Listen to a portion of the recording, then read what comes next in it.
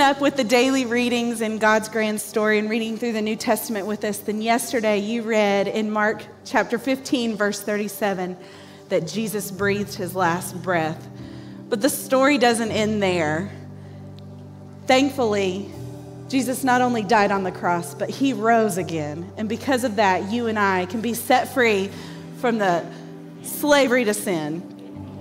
Y'all can go ahead and have a seat. Welcome to Dogwood Church. We are so glad you're here. My name is Lindsay Bryant, and I'm the Director of Guest Services here at Dogwood.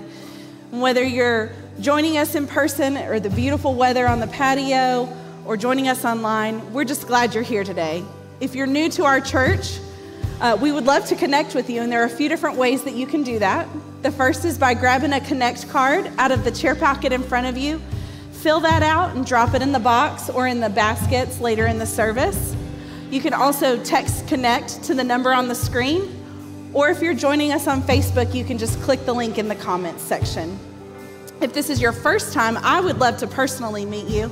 So if you'll bring your Connect card to the guest services desk in the lobby, uh, we've got a free gift for you.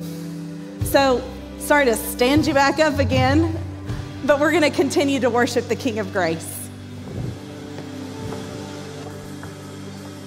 Church, let's confess that Jesus is Lord together. Let's celebrate the miracle of the gospel.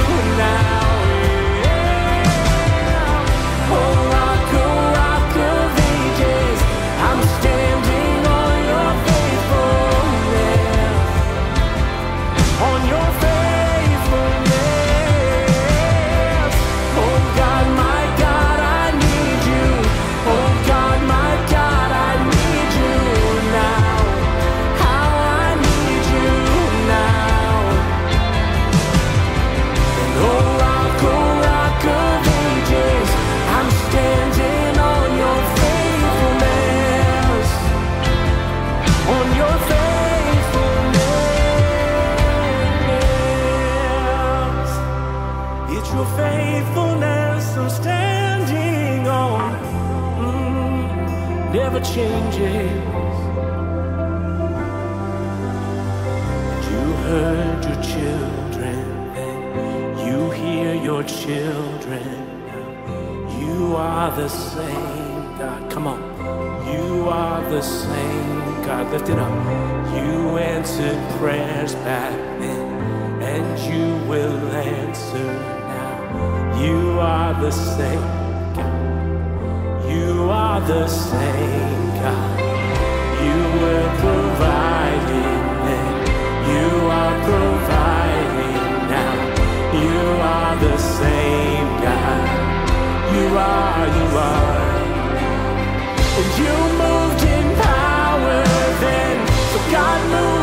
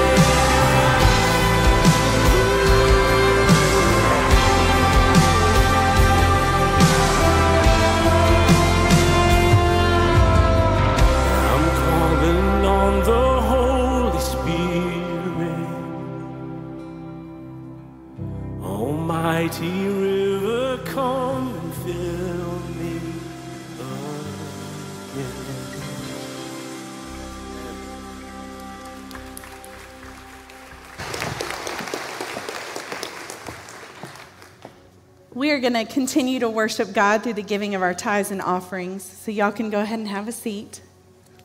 As you prepare to give, I want to update you on how God is using our church in global missions. Over the last five years, the Dogwood Global Missions team, missions team has focused our church's efforts in Bogota, the capital city of Colombia. We have trained and equipped churches to be more effective in fellowship discipleship, ministry, evangelism, and worship. At Dogwood, we call those five purposes belong, grow, serve, share, and worship. And this week, we have a team of six people in Bogota starting a new round of training um, with a new group of churches. The team will lead training across five regions in Bogota with the potential for up to 600 new churches to be involved in that training. Uh, we will send a team every few months to continue that training over the next nine months. So let's celebrate what God is doing in Colombia right now. It's huge. We can do this in part because you give generous offerings to God as an act of worship every week through Dogwood Church. So we're going to do that again right now.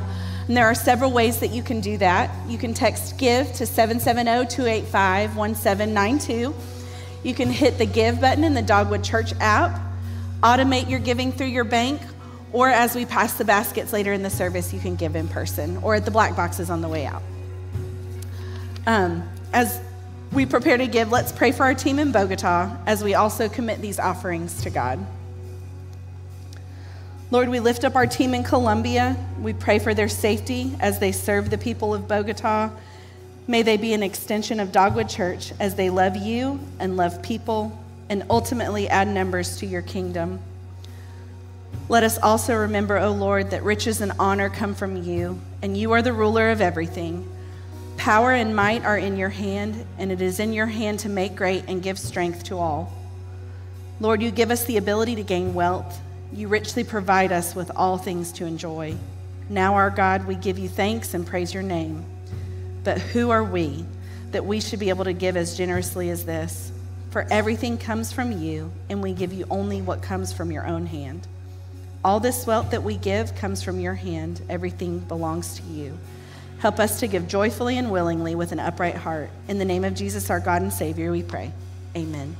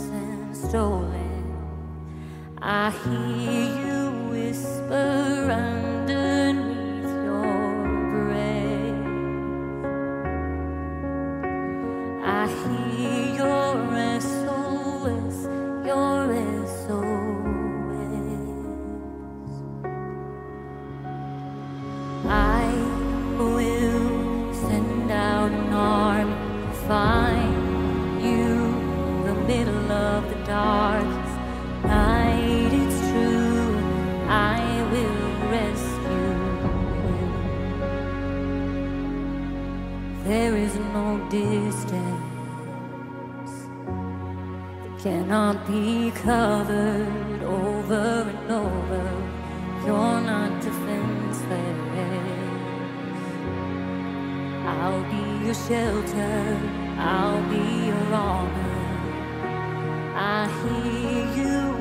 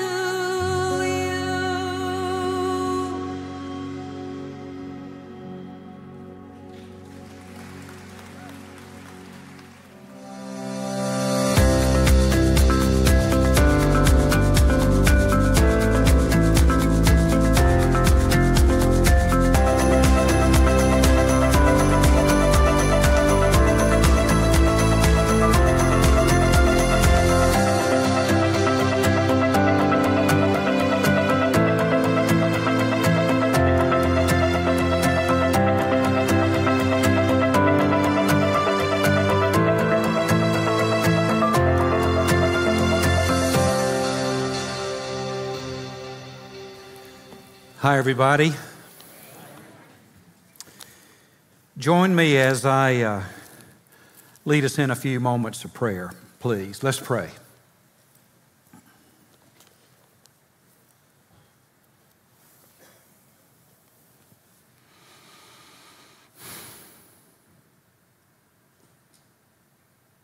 Heavenly Father, we pray to you because you are our hope. And we trust that what you say in your word, the Bible, is true, that you hear us when we pray, and that you do some things when we pray that you don't do when we don't pray. And so, as an act of faith and an act of humbling ourselves, admitting that you are God and we are not, uh, that we need you. Uh, we need you individually, we need you corporately, we need you globally.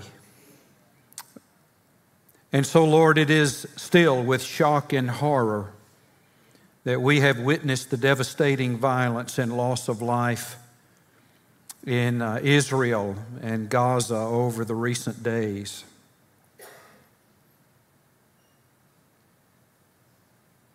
Lord, we're tired of this.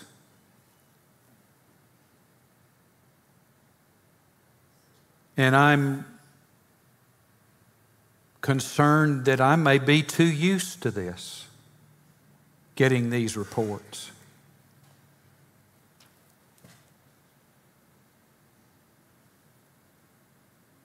From the Ukraine, now from Israel,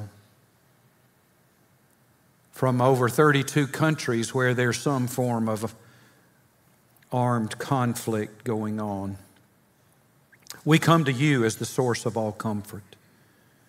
We come asking that you send your Holy Spirit to surround and uphold all those who are grieving, all those who are suffering, all those who are afraid and in fear, all those in captivity, all of our own Dogwood family members who have family and friends in the Ukraine, in Israel uh, in, in some of these other countries where there's great conflict. We pray.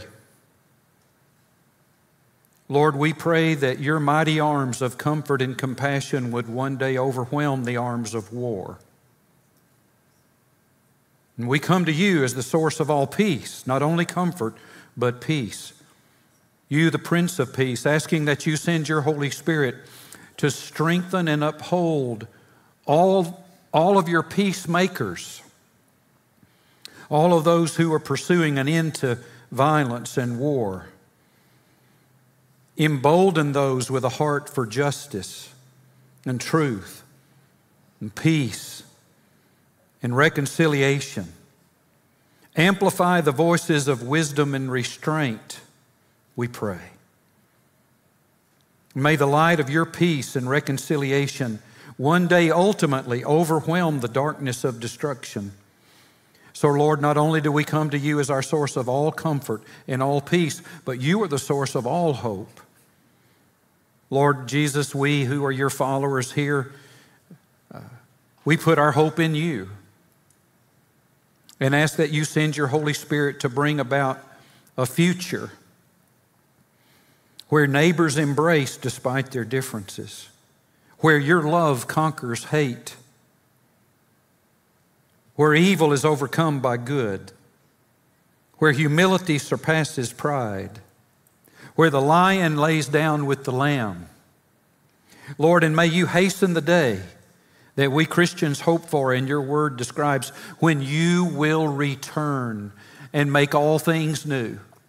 All things new where you where the day will come when we will study war no more as the prophet said. And implements of war and weapons will be beaten into plowshares and tools of reconciliation and, and uh, peace. May it be may it be realized soon. May you come quickly lord jesus and, and hasten that day when there will be no more death or mourning or crying or pain, for the old things have passed away, and you have made all things new. Thank you, Lord Jesus. And it is in your name that we pray. Amen. Amen. Amen.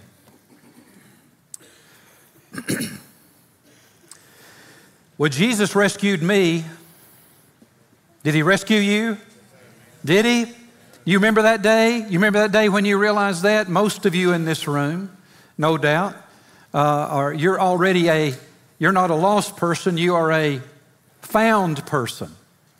I once was lost, but was blind, but now I see. You know, it's not fun to be lost. Uh, Allison and I, on a beautiful October uh, afternoon, about this time of year in 1982, 41 years ago, she was, she was expecting that little girl that just sang a moment ago. Uh, we were, uh, uh we were uh, on a short section of the Appalachian Trail on the top of Blood Mountain. Taking, don't, don't be too impressed. Short day hike. Some of you guys actually enjoy hiking. You know, I, I, my, my, my wonderful wife enjoys hiking, but, and I like being with her, so we'll, but you know, get out and walk long distances and up steep hills so that you're tired when you have like cars. But anyway, we were on, we were on, the, we were on a, section, a beautiful section of the Appalachian Trail. Beautiful blue sky day, about 58 degrees. Uh, the, uh, a breeze was blowing. All the trees were, were golden and uh, crimson. And uh, uh, the wind was blowing and the leaves were, it just looked like it was raining color up there. And I was enjoying it so much until I realized that so many leaves were coming down that they covered up the trail. And we, I, Lindsay, I could, we, we lost the trail. Uh, only for a few minutes, about 15 minutes, and then we found our way. But for 15 minutes, I was very uncomfortable. very uncomfortable. Uh, have, have you ever been lost? It's, it's a terrible feeling. You know, it's also possible to be lost from God. It reminds me of an encounter uh, of Jesus that we find recorded in the Gospel of Luke, chapter 15. You may want to turn there. Uh, for example, on Friday of this week in our Read the New Testament Through passages, you're going to read this chapter on Friday, the October the 20th. I'm going to give you a preview today. And so today we're diving into this, uh, this chapter. Your sermon notes are on pages 37 and 38 in your booklet if you didn't uh, pick up one when you came in today. Now, uh, as we dive into this chapter, there are two groups of people represented here. Both of them are lost to a relationship with God. One of them is surprising. It is a religious group of lost people, very religious, represented by the Pharisees and the scribes, and the other is an irreligious lost people uh, who, who thought they were beyond hope until Jesus showed up. Read along with me, beginning in verse 1. Uh, you follow along, I'm going to read aloud. This is God's word. All the tax collectors and sinners were approaching to listen to him. And the Pharisees and scribes were complaining. This man welcomes sinners and eats with them. So he told them this parable What man among you who has a hundred sheep and loses one of them does not leave the 99 in the open field and go after the lost one until he finds it? When he has found it, he joyfully puts it on his shoulders, and coming home, he calls his friends and neighbors together, saying to them, Rejoice with me, because I found my lost sheep. I tell you, in the same way, there will be more joy in heaven over one sinner who repents than over 99 righteous people who don't need repentance. Now, he's talking about Righteous people in Jesus' mind are defined by people who already had repented and been made right with God. They didn't have to do that again. Or, he goes on to say, what woman who has 10 silver coins, each representing, by the way, one day's wage, we'll come back to that, if she loses one coin, does not light a lamp. It's, it's dark, it's nighttime. And sweep the house and search carefully until she finds it. When she finds it, she calls her friends and neighbors together, saying, Rejoice with me, because I found the silver coin I lost.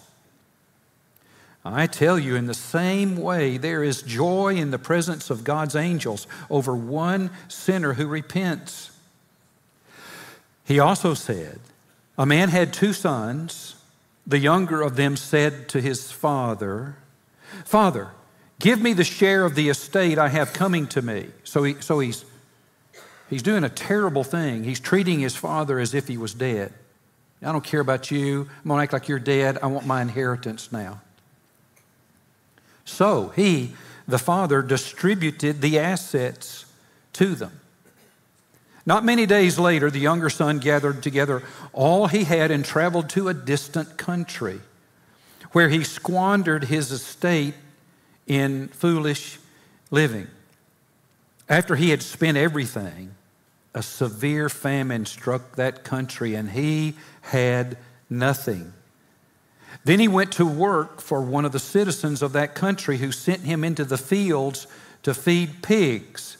Now, that, that, that statement had a much greater impact on good, faithful uh, Jewish, uh, a good, faithful Jewish audience than it does on us Gentiles who can't wait for church to be over to go to the barbecue joint. he longed to eat his fill from the pods that the pigs were eating, but no one would give him anything. When he came to his senses, he said, How many of my father's hired workers have more than enough food, and here I am dying of hunger? I'll get up, go to my father, and say to him, Father, I have sinned against heaven and in your sight. I'm no longer worthy to be called your son. Make me like one of your hired workers. So he got up and went to his father. But while the son was still a long way off, his father saw him and was filled with compassion. He ran, threw his arms around his neck, and kissed him. The son said to him, Father, I have sinned in, against heaven and in your sight. I'm no longer worthy to be called your son. But the father told his servants, Quick, bring out the best robe and put it on him. Put a ring on his finger and sandals on his feet. Then bring the fatted calf and slaughter it and Let's celebrate with a feast because this son of mine was dead and is alive again. He was lost and is found. Now, the Lord Jesus, with three parables, uh, a, very, a very Jewish rabbi way of teaching a point, with three parables, Jesus taught both of the groups, the religious lost group and the irreligious lost group, what it was like, that how people could be lost to a relationship with God and how they could be found. And again, we, we find uh, this was a great method of teaching. Uh, Jesus often had a one point sermon and he would illustrate it boom, boom, boom, boom with three consecutive parables and uh, illustrations to drive home the point. And that's what he does with you and me uh, here today. And he, so he says, uh, here's how we can become lost and, and how we get lost. Uh, we become lost, first of all, because we're like a lost sheep. We're like a lost sheep. You know, we're often compared, again, remember from just a few weeks ago, we're often compared in the Bible to, to sheep. In Isaiah uh, chapter 53, verse 6, it says, We all went astray like sheep. We all, everyone gets lost from God like sheep. We have all turned to our own way. Our own way is what gets us in trouble. And in 1 Peter chapter 2, verse 25, uh, it tells us, For you were like sheep going astray. Every, hey, all of you found people that celebrated a few moments ago, remember, we were, were people. We were like sheep who had gone astray. Everybody, everybody at one time in their life is at least lost, at least, uh, and some remain that way. Uh, we're hoping to reduce that number uh, of people who are lost. So, how do we get lost? What does it mean to, to be a sheep? Well, we become lost from God because we are ignorant of the things of God And we're also foolish, do foolish things. Now you said, are you saying we're dumb or stupid? No, no, no, no, I'm not saying that. I'm saying they're very, we're, most of us are like, you know, like me, you're educated far beyond your intelligence. Uh, so we're smart. I mean, you know, it's not that we're being intelligent and ignorant are two different things. Being ignorant just means you don't know. You just haven't learned that yet. It's okay to be ignorant. It's just not okay to stay that way, especially when it comes to God. Well, we get lost from God because we're ignorant of God and His ways, and then also because we are foolish. You know, some very, very bright people do very, very foolish things. I'm not very bright, but I have been foolish in my life. It means I, I do things they're not, I'm not, we tend to not be wise. And we get lost from Jesus, our good shepherd. Also, by following other lost people, following the crowd. Sometimes sheep would get lost because it would follow other sheep who were lost. Well, uh, that's what peer pressure does to us. I don't, Randy, I don't know if this is true. I've never been able to nail down the source of the story, but I'm going to tell it anyway, like it was. How's that? Um, I, I, had a friend who lived in South Florida all of his life, and, and so he hung around the, uh, the marine biology world. And he was telling me that at one of the big aquariums, again, I'm try, I've been trying to document this, Jim, for years. I can't find the documentation on it. But anyway, said some of the, the marine biologists were trying to uh, learn about the schooling effect of fish. You ever seen the, you know, the big, the, the those wonderful documentaries about our planet that have all those, all the nature and wildlife and the beautiful uh, colors and the, the ones that deal with undersea life, and you see these massive schools of fish all turning in the same direction all the time. You ever seen? Has anybody else seen that? But okay, thanks, thanks. Help me, help me here. And so he said they were studying that schooling effect of fish. And so they took one of the fish out of the, they had a big tank, and they took one of the fish out of the tank, and they did brain surgery on the that one fish, they took a portion of the, just a little portion of the brain out of that fish. And so, and they put him back in the tank. And so all the other fish are, they're doing their nice, almost acrobatic um, ballet type swimming around. And he was going, ear, ear, ear, ear, ear, ear, bonk down to the bottom and ear, up to the surface. And they kept observing him. And over time, a large section of the school were going, they were following the one with half a brain. Reminds me of when I was in middle school. Got the point? Okay, let's move on. Sometimes we get in trouble because we we're lost from God because we're following people with half a brain. And uh, here we go. And so, but also we get lost from God because we're like a lost coin. Now, this coin was lost to this lady. It was lost in the dark, maybe in some dark corner, out of the way spot, down there in the darkness. It, speaks of our ignorance. Again, our ignorance of God and the things of God. We can't see. We're in the dark. We're lost to, uh, to Him. Um, this, is, this is a special uh, a tragic temptation of um, highly moral and ethical people, even sometimes religious folk who get God wrong. Remember, it's easy. Let's just talk, let's not talk about other world religions. Let me talk about those who claim to be Christians. Uh, it's very easy to misunderstand and wrongly follow Jesus. We think we got it right, but we're still apart from Him. That's why, in some of his uh, words later in his ministry to some people, he said, There are many who will come to me and say, uh, Lord, Lord, didn't we do all these wonderful things in, in your name? And he'll say, Depart from me, I never knew you. Religious people who got it wrong. So be careful. Be careful here.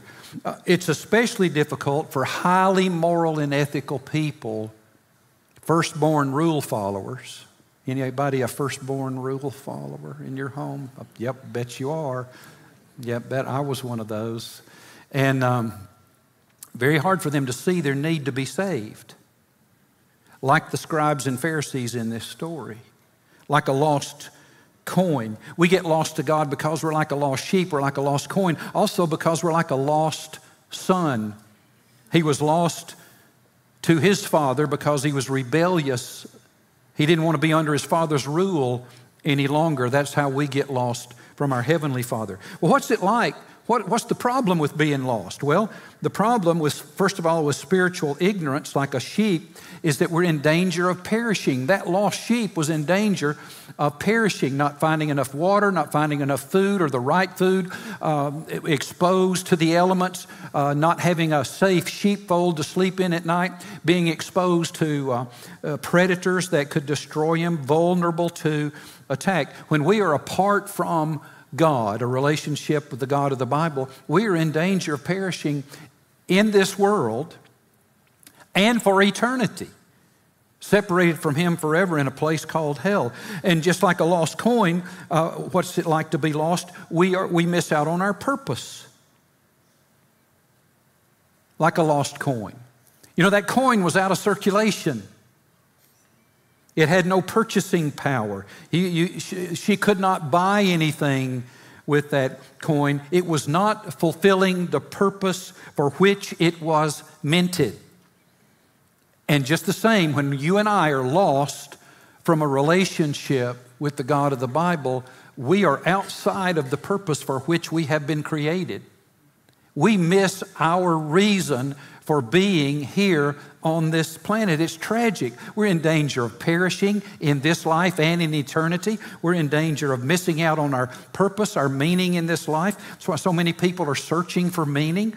And, um, and also, when we are lost, we are lost from a relationship, from fellowship, from closeness, from experiencing God, just like that lost son had broken off his relationship with his father. He had no benefit, no enjoyment, no interaction. But I've got good news for you. Jesus comes looking for us. Lost people who are lost from God matter to God.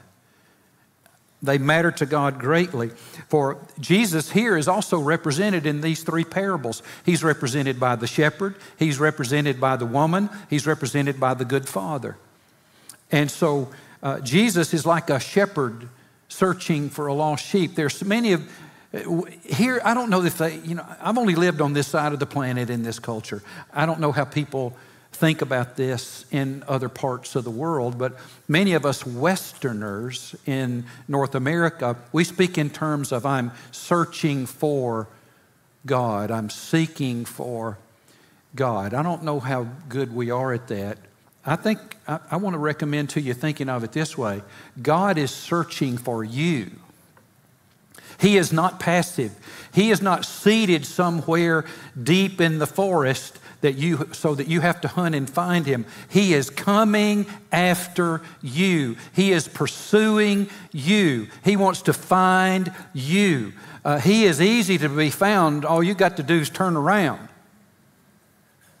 Because he is coming for you. He is active, he is intentional, he is loving, he is gracious, he will never give up. He will come after you to rescue you. He's just like the shepherd seeking a lost sheep. Now, notice that this shepherd went after the one sheep that was missing. He left 99 and went after the one, just one. Now, some uh, people in business today would not be too concerned, overly concerned about a 1% loss. But the point of the parable here is the incredible love of the Savior, the incredible love of the shepherd, in that he, he was not going to give up. He didn't know the condition of that sheep. For all he knew, the sheep had already been destroyed. He might just find a, a, a corpse, he might just find a body there, torn and uh, decaying, but he was going after him. Great love of the shepherd. Jesus loves you. He knows you. He knows where you are. He knows your name.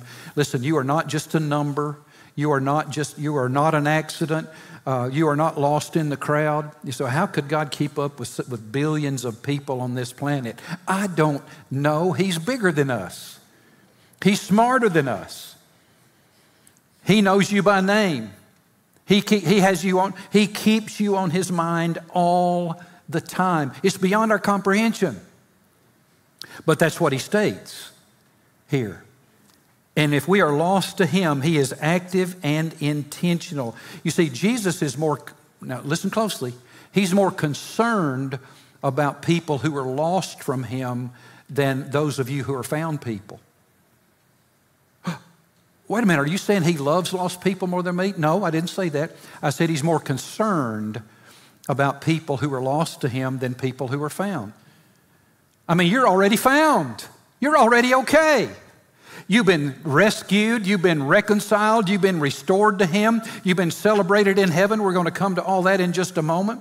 Your, he has, your sins have been forgiven, He's adopted you into His family, you are secure. No one or no thing can pluck you out of His hand at all.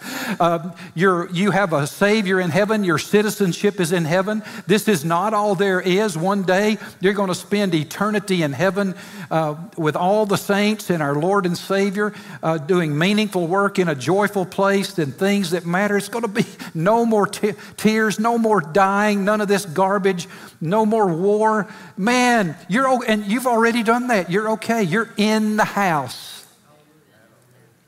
You are in the family, but somebody's not that he loves. And so he's way more concerned for them that are not yet found. So, those of you who are seekers, those of you who, who are exploring faith, just know He knows you. He, he wants you. He's pursuing you. You can be found. He intends to do that, that very thing. He's like a doctor who spends most of his time with the sick. Do any of you get mad at your doc because he didn't just show up and drink coffee with you at the house every day? No, you expect him to be taking care of people who need him. Well, he is he cares for the lost. Look at Luke 19:10. The scriptures say, For the Son of Man has come to seek and save the lost, and you once were, and now you've been, been found. Uh, Jesus is not only like the good shepherd seeking the sheep, he's like the woman seeking after the lost coin. Now, this coin was very important to the woman.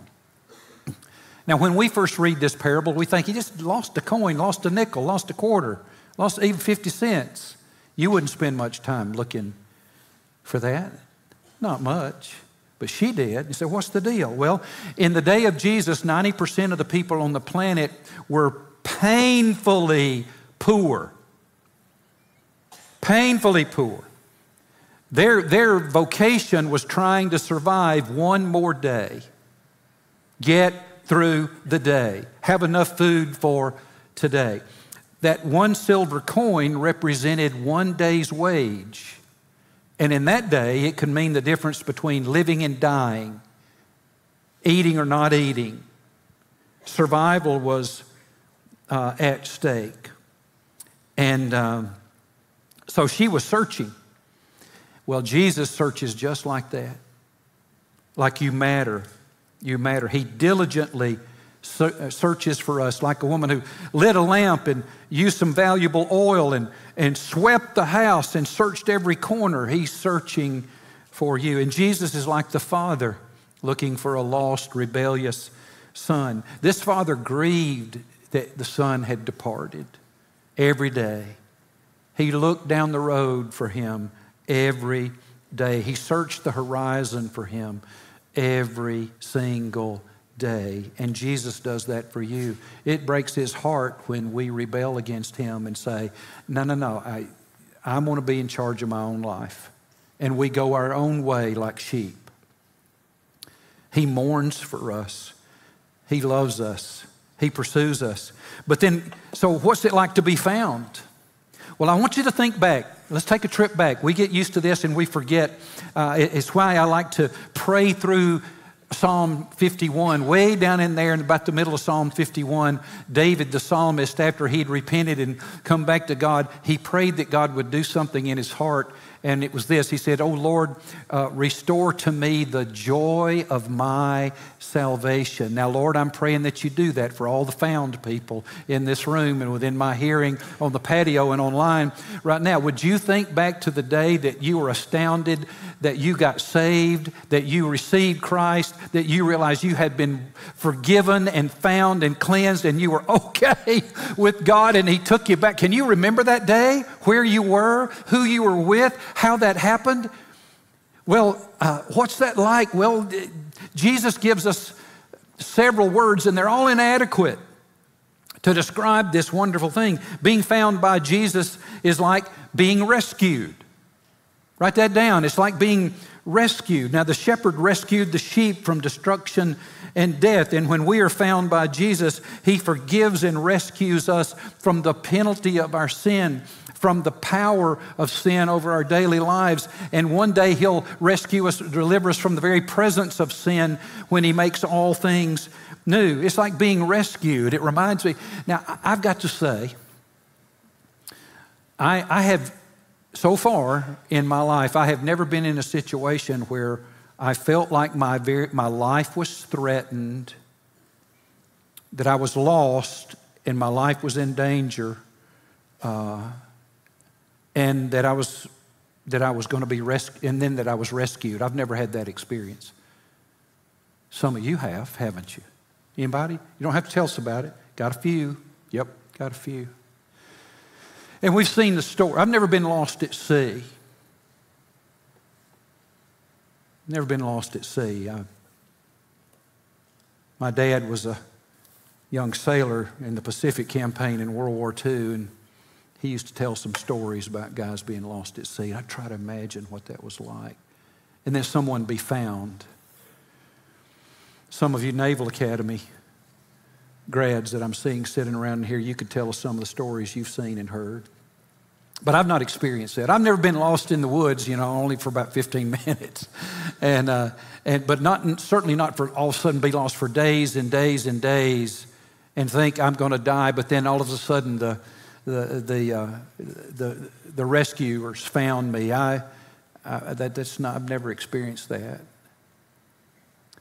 Closest thing I've ever had to vividly was I sitting as a as a 17 year old senior in high school and listening to my favorite cousin who'd come home from Vietnam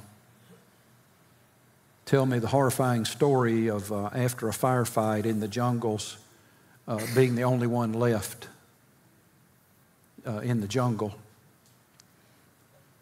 And uh, how he had to hide and, and being searched for by the enemy and lying under, under bushes and things to survive for three days until one day until he heard the helicopter coming back to find him. And what that was like when he ran out of that jungle into that little clearing and was pulled up into the helicopter.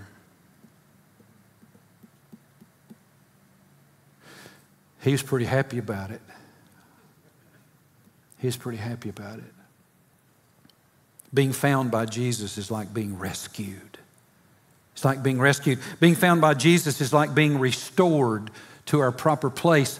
That um, uh, some, some students of the ancient Middle East tell us that uh, women in that culture, poor, they would they had um, headbands that could where silver coins could be placed and necklaces where they kept their coins. I'm not sure that this woman had one of those, but when she found the coin, she was able to restore it to its pop, proper place and purpose. Uh, when we are when we are restored, saved by Jesus, we're restored to our purpose to our life becomes beautiful again and meaningful again. Uh, it's like being rescued, it's like being restored, it's like being reconciled, a broken relationship being reconciled.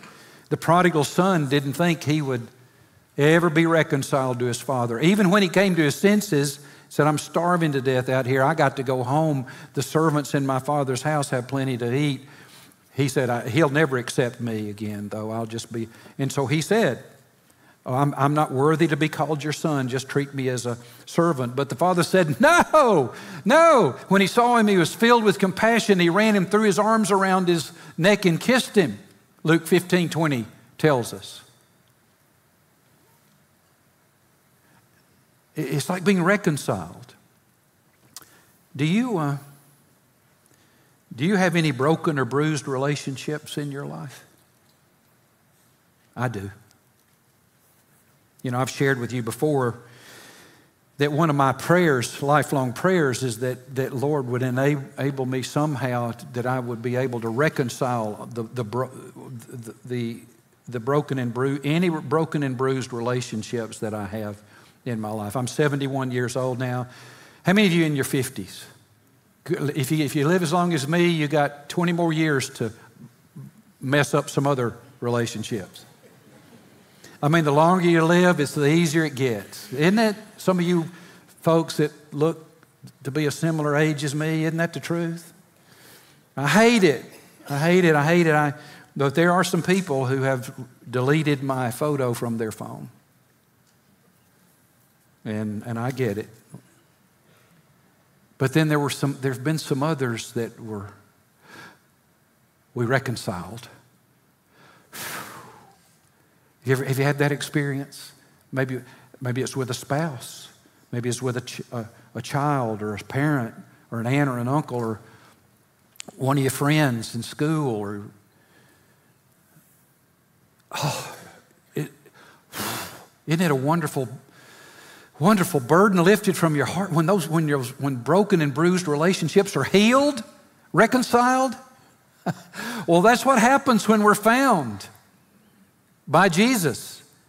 He, the Bible uses the, the, that language of being reconciled to God. We are fully accepted by God through faith alone in Christ uh, alone. And it's also like being celebrated. The son said to his father in Luke 15 21 and following, Father, I've sinned against heaven and, and in your sight. I'm no longer worthy to be called your son. But the father told his servants, Quick, bring out the best robe and put it on him, put a ring on his finger and sandals on his feet. Then bring the fatted calf and slaughter it, and let's celebrate with a feast. Because this son of mine was dead and is alive again. He was lost and is found. So they began to celebrate. Celebrate. And I love, uh, look back up in uh, verse 7. Jesus said, I tell you in the same way, there will be more joy in heaven over one sinner who repents than over 99 righteous people, or other who don't need repentance, people who've already repented. There's a celebration in heaven when we come, when we're reconciled to God through faith alone in Christ alone. There's a celebration. There's a big one. There's a big one. I want you to think back again to the day you were found and you realized you'd been found by Christ. Listen, when that happened, all of heaven hit the brakes. Hit the brakes. They rolled out a banner with your name on it. Everybody stood and shouted and praised God and thanked Jesus he, that He saved sinners like you and like me. And it hap- it's happening all the time, all the time because every day around the planet, the Spirit of God is finding people and drawing them to Christ and feel they're coming to faith and getting reconciled and rescued and put back together. It's magnificent. The hope of the world is Jesus. The hope of the world is Jesus. And He found most of you in this room. Some of you are explorers. And I just want you to know He can find you if you just turn around. He's pursuing, He's right there. So why don't we pray and do that now? Join me. Let's pray together.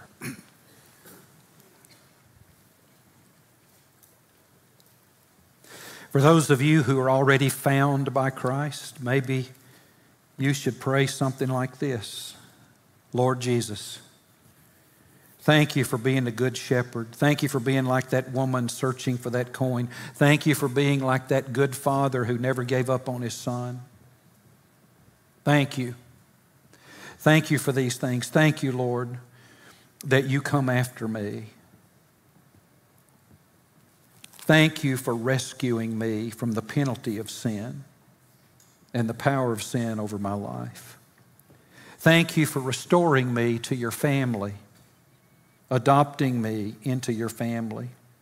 Thank you for reconciling me fully, that I am fully accepted by God the Father through my faith in you. And I don't ever have to worry about it again. And now, those of you who are explorers, if you're in this room or you're online or you're out on the patio, why don't you come to faith in Christ? Why don't you come home like that prodigal son?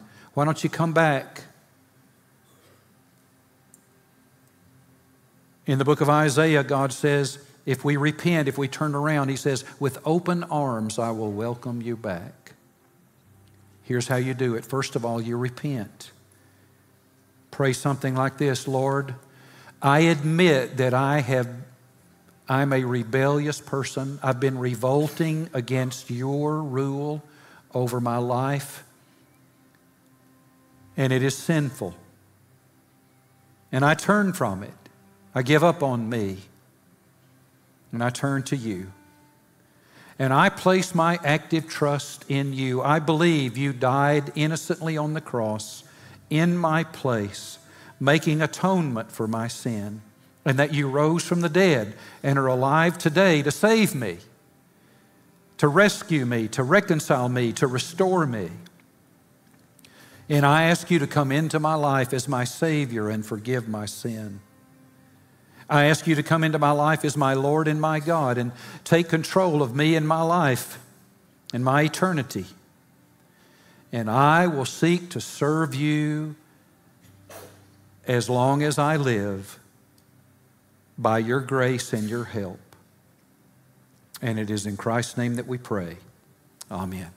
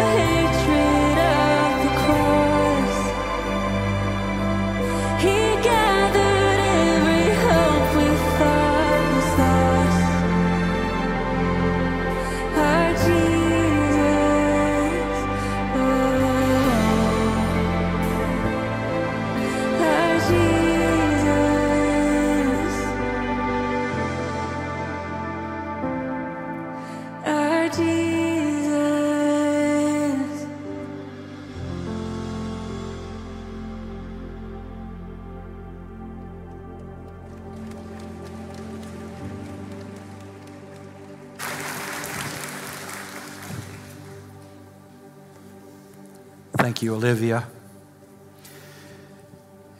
We're now going to continue worshiping our Lord by observing the beautiful ordinance of the Lord's Supper. You should have received the elements uh, of uh, for this ordinance uh, when you came in. Uh, if you happen uh, not to, if you'd raise your hand and would like elements, uh, our ushers are nearby with a basket they'll be sure to get those. Just raise them really high. Anybody here in the front? Anybody down on the floor? Anybody in the balcony? We got a few folks in the balcony. Yeah, hang on. They'll have to run to get to you there. There you go. if you are not yet a follower of the Lord Jesus Christ, uh, this would be a part of the service that you should refrain from participating in for this is something that the Lord commissioned for only for his followers, only for believers. And if you are a believer, I'm going to give you a moment to join me in uh, following the admonition we have from God's Word as we approach this time of worship that we should examine ourselves uh, to make sure that we are in the faith, to make sure if we are in the faith that we are uh, walking in, um, in fellowship, in obedience with our Lord and Savior, and uh, to make sure that we are in good fellowship with our brothers and sisters in Christ. If we find that we're not, we should seek reconciliation, as we talked about earlier. so I want to give you a moment to pray, and then we will partake of the elements. Would you pray and examine yourself?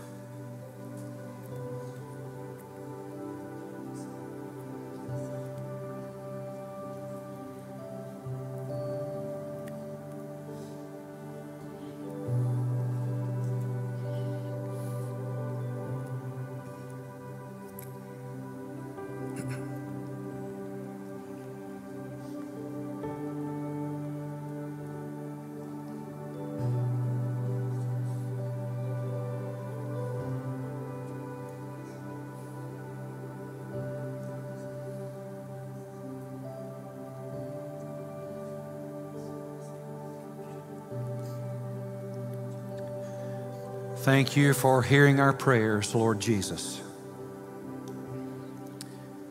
Now, the Bible says that on the night he was betrayed, that the Lord took bread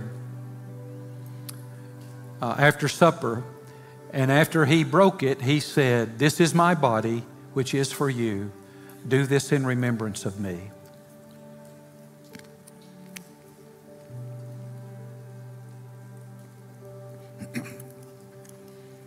And in the same way, the scriptures say, he took the cup, saying, This cup is the new covenant in my blood. Do this as often as you drink it in remembrance of me.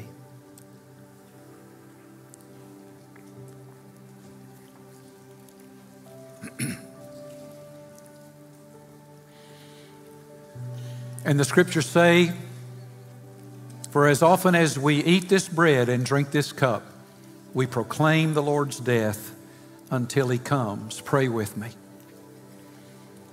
And so, Lord, we, we do. We, we thank you that you've given us these, this bread and this cup, these things we can see and touch and smell and taste uh, as physical reminders of your body that was broken for us, your blood that was shed for us so that moral and spiritual foul ups, just like me, could be rescued, could be restored, could be reconciled to you through faith in you.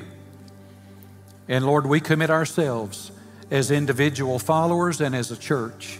We will continue to proclaim the good news of your death, resurrection, and salvation that you offer to this world until the day that you return. Help us to do so. And it is in Christ's name that we pray. Amen.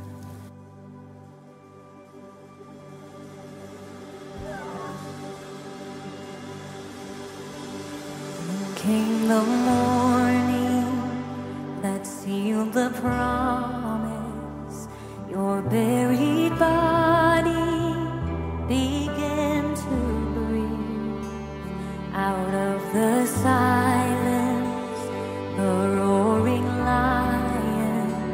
Declared the grave has no claim on me. Come on, let's sing that again. Then came the morning